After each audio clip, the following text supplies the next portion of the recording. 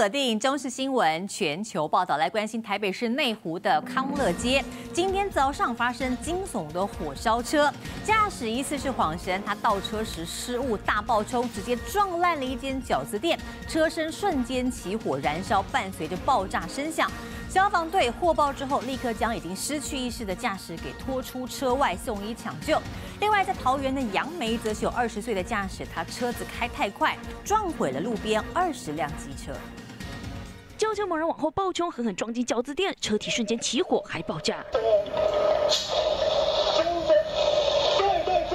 火光四射，浓烟窜天，惨了！车里还有人，驾驶瘫软在座椅上，早已没了知觉。消防队员立刻将他拉出车外。有休克还怎么样？吓到他踩着油门，然后一直打转，然后跟他一直摩擦爆掉，然后起火。疑似晃神倒车失误撞烂饺子店。十八号上午，驾驶开车行经北市内湖康乐街，发生意外，紧急被送医。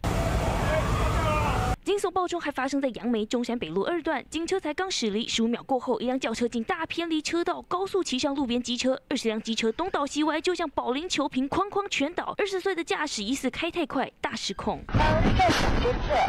马路当自己家，要回转都不用看车况，想怎么切就怎么切，秒害撞车，撞击力道之大，货车瞬间往右滑行四十五度，车身大幅度摆动，差点翻车。但三重这位骑士就不只是翻车，还差点成了轮下亡魂。来一男越骑越往右偏，没想到居。然骑去撞分隔岛。个人往前趴倒，蓝衣男在地上滚了两圈，差点被碾过。因为距离太近，后方骑士根本来不及闪，直至骑上车身。好在车轮被喷落的零件给卡住，否则恐怕酿成死亡车祸。撞翻车还出现在高雄小港，小客车直行路口遭货车给撞上，整台车被撞到两百七十度大转弯，最后重心不稳还冰掐。肇事货车则是刹不住，再撞路边机车小货车。好在车上五人都平安，算是不幸中的大幸。这里新一彩山仓报道。宜兰有一名驾驶，十六号的凌晨无故遭到了警方上前拦查，远警一下子说这个驾驶的车灯没开，一下又改口说要实施酒测，驾驶认为自己遭遇到了不当盘查，当下就立刻申请异议单，但是远警竟然没有带，让驾驶觉得莫名其妙，最后远警干脆摸摸鼻子道歉离开。不要下车，你这太扯了。让我太扯了！你这样开人家车门，你这样对吗？你这样是犯法哦！驾驶指着眼前车门直呼太扯了，因为远警上前盘查，想直接拉开车门，原因只是因为车灯不够亮。我到底做错什么事情？不说我灯，灯是不是有一个暗掉？你不是要最只要测九测，我就让你八成。到底是因为驾驶车灯没亮，因此上前盘查，还是要进行九测？远警前后说辞不一，与驾驶僵持不下。查你身份不行吗？啊，那一单啊，一单。一单是不是？对你现在也没有啊。听到要开一单，远景傻傻，不仅拿不出来，驾驶下车看了看自己的车灯，觉得非常冤枉。最后远景竟然测也不测，道歉离开。这是欺负民众不懂法规吗？这名驾驶十六号凌晨两点在宜兰县宜兰市的中山路遭到远警拦下，但远警讲不出确切的盘查原因。驾驶认为遭遇不当盘查，当场提出异议。前左车头灯单边哦疑似没有亮，啊担心行驶安全，亦对其实施交通安全劝导。远警为期待这名异记录单部分，将依规定检讨改进。远警疑似借题发挥，借着车灯不够亮上前盘查，没想到驾驶主张自身权益，让一线执法人员专。专业职能不足，展露无遗。记者林医生郭维轩宜兰采访报道。要价三十六亿元台币的 F 十六 V 战机被质疑，难道变成了婚摄道具吗？这一对啊，这个新婚的空军飞官夫妇，他们站上了 F 十六 V 战机的这个机翼上面拍婚纱照，套上滤镜之后，画面看起来相当的唯美。但专家表示，这其实不符合规定，万一新娘子穿了高跟鞋，恐怕会造成蒙皮受损，严重影响飞行安全。我国以天价向美方采购六十六架 F 十六 V 战机，单机价高达新台币三十六亿元。除了防卫台湾领空，现在还多了这功能吗？要价三十六亿战机变成婚摄道具，空军飞官带着新婚太太，两人甜蜜蜜牵手站上 F 十六 V 的机上拍婚纱，画面套上滤镜，看起来唯美，但专家一看不得了。F 十六二点五公尺高哎，比人的身高还要高，掉下来也会造成受伤。而且它的机翼是斜的，有点斜角。如果是高跟鞋的话，它是尖的。那如果蒙皮受损的话，它不能气动力没办法平衡，它左右没办法平衡，你都会对飞机多少有点影响。你把漆也破坏了。专家说，战机机翼、高精密电子如果受损，将严重影响飞安。另外一张照片，新娘捧着飞行头盔，坐在机舱，专家看到傻掉，说她抱着比一部名车还贵的军品。副座飞行头盔一个一千万，那个比那个车子都还贵，你车子有没有一千万？所以看到哪里打到哪里，就是因为那个数位头盔。如果是数位头盔，那是属于管制品。军方回应，这是为了鼓励官兵结婚，经过申请就能拍摄。但如果拿三十六亿的飞机来拍婚纱是慰劳军官，网友质疑，那军官找战机拍写真集也行吗？总统府员工想坐在总统的椅子上拍泳装照行不行？F 十六是我们现在的主力战机，那我们其实妥善率已经不佳了。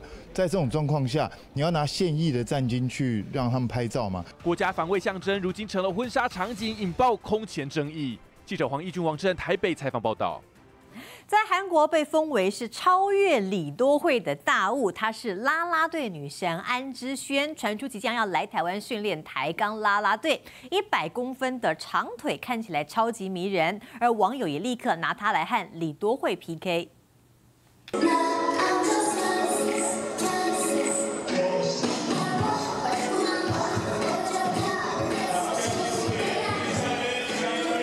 精致美貌、甜美笑容，配上超逆天大长腿，她是韩吉拉队女神安之轩。安之轩身高一百六十九公分，光腿长就一百公分，曾多次打败李多惠，被封为超越李多惠的大故拉拉队女神的最强外挂。这回传出她将来台帮台钢雄鹰拉拉队训练。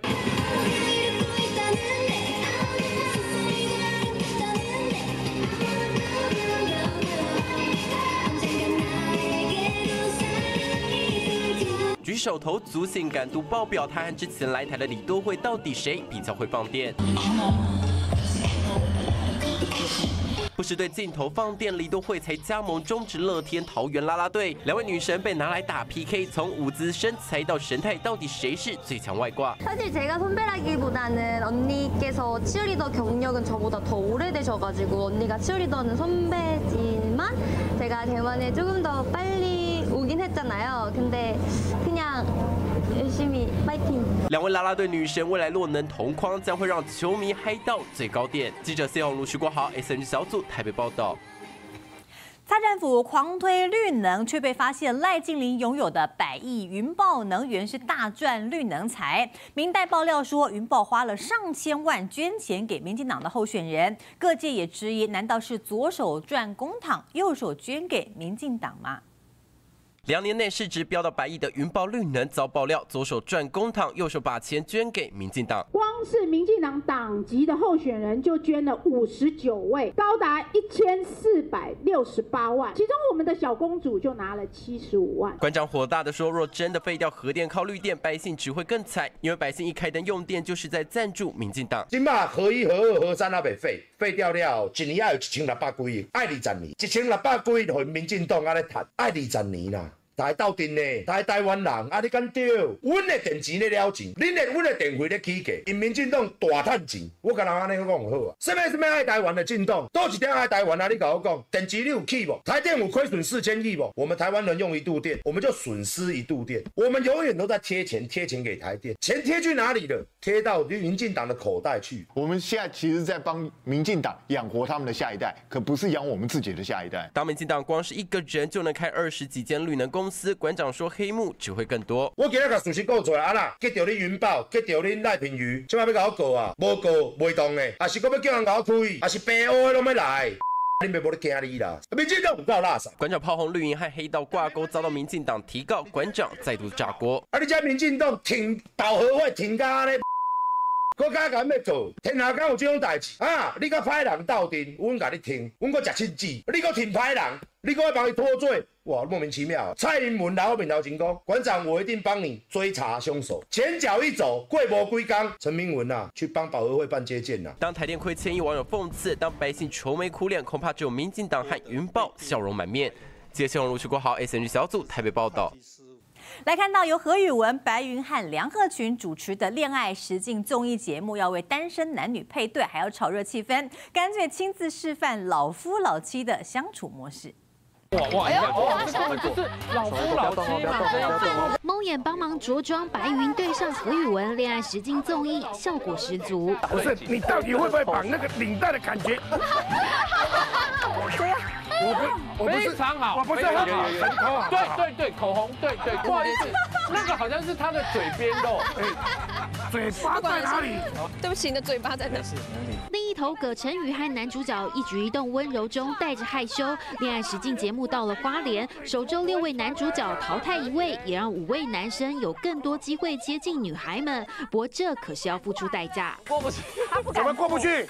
你走快一点啊！哦他现在是为了爱在往前冲哎。有惧高症的男主角硬着头皮高空走绳索，战战兢兢，表情严肃。而女主角之一的焦曼婷可是巾帼不让须眉。你赶快救他！哦，有有有很大，他好厉害哦！恋爱旅程中，女生们除了透过互动认识男孩，也能借由小天使观察员抽丝剥茧解析每位男孩的个性。记者纵不到。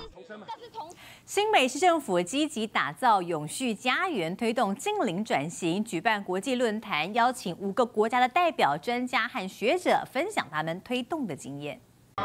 各国代表、学者、专家竖起大拇指，迈向永续家园、近邻转型。新北举办国际论坛，邀请英国、澳洲、日本、韩国、新加坡一同为近邻城市找解方。希望借有一个国际大家一起的讨论，让在二零一五年通过的巴黎协定，要把我们的地球温度控制在上升一点五度 C。京都市长录制影片分享减费节能成果，论坛聚焦在地化治理经验及未来近邻城市愿景。而新北的蓝图中就以巴黎为近邻示范区。第一个，它不太乡村，那也接近都会；第二个，它有个商港；第三个，它有个焚化炉，所以它里面的很多的机制刚刚好可以让我们去尝试，试着把这个所谓的近能碳排各个面向去做落实的规划。新北市长侯友谊二零一九年上任以来，几乎年年针对气候议题有重大落实及推动，是否透过国际合作、官产学携手，逐步实现二零五零近零排放目标？记者周天祥新北市报道。我是哈远怡，我用说故事写自己的人生故事，有争议的拿证据说，被掩盖的挖出来说，非主流观点我有勇气说，用心说好两千三百万人的故事。我是哈远怡，请锁定中视 YouTube 频道，记得帮我们按赞、订阅、分享，开启小铃铛哦。